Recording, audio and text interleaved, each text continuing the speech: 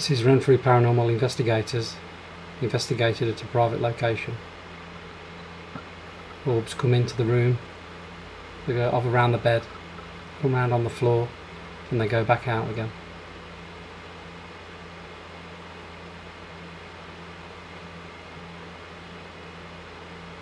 You can visit us on uh, Facebook, Renfrew Paranormal Investigators, or the website www.renfrewparanormalinvestigators.com.